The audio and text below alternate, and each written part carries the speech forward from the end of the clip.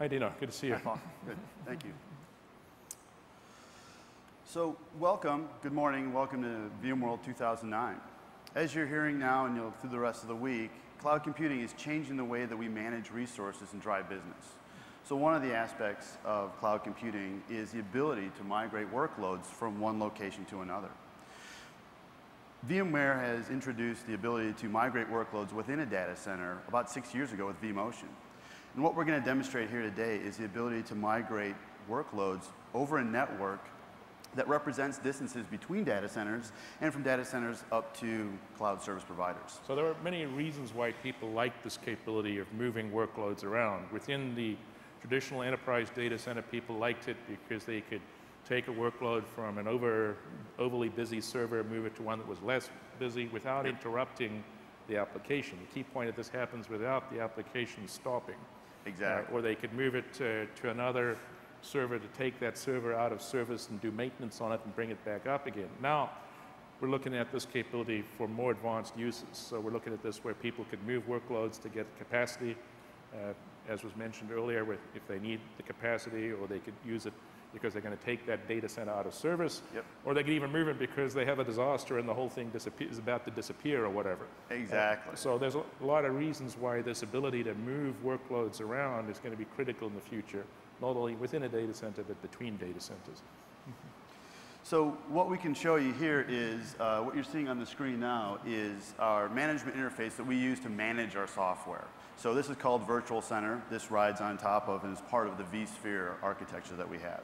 So within Virtual Center here, we see it managing actually two data centers. One that we have is shown here as San Jose, and one that we see here as Sacramento. Now, to get a sense as to how much time it takes data to actually move from some data center in San Jose up to a data center in Sacramento, we can do what we call a simple ping test. So this is just a network tool that you can click and it'll ping out and, and it'll send a packet of data out and back and it'll measure the time. And we see here it's about four and a half milliseconds of time that it takes. And all things being equal, that's about 200 kilometers or about 125 miles. So in our data center, we actually have a database server that we have under load.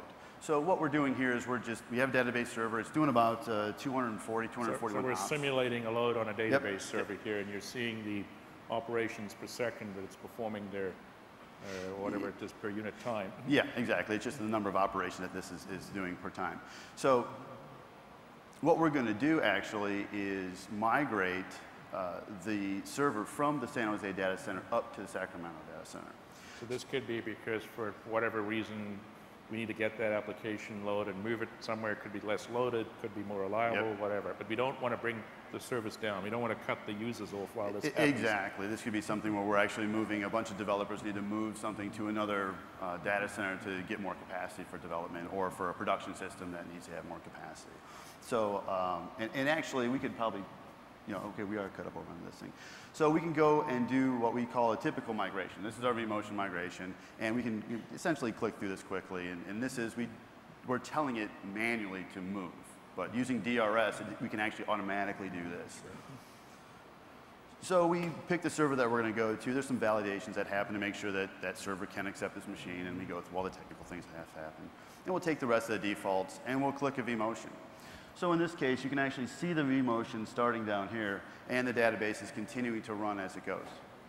So, and as you can see the, the transactions that are happening, the data, the server is actually traveling now from San Jose up to Sacramento. As you'll notice in the transactions that are happening here, you'll see that the, it, you'll see a slight dip in the transactions because we're physically moving a workload, but it should be noted that we don't drop any connections and the end users can still access their data. And this is the key so, technology. So there's just a pause while this magic happens and then it picks right up again. The end users see nothing but that pause. Essentially, yeah. They feel, maybe it feels like a little bit of network ingestion or something, but the workloads are still there, and the really key part is, is the data is not lost or dropped.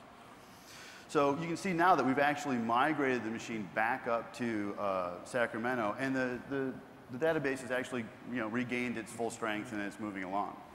So to achieve this, we actually work with Cisco on this, using their data center interconnect technologies, uh, using uh, the virtual switch systems and virtual port channel technology to ensure that we have a single network broadcast domain between these data centers uh, that allows us to maintain this application performance. And So this is a great example of what uh, Steve was referring to earlier of the hybrid case, where they can offer essentially data center extension capabilities. Yep. Uh, and it's not a black-white issue of whether you're quote-unquote in the cloud or out of the cloud. You're using the cloud as it makes business sense Yes. for you. Thanks a lot. Yep, thank you. Appreciate it. Cheers.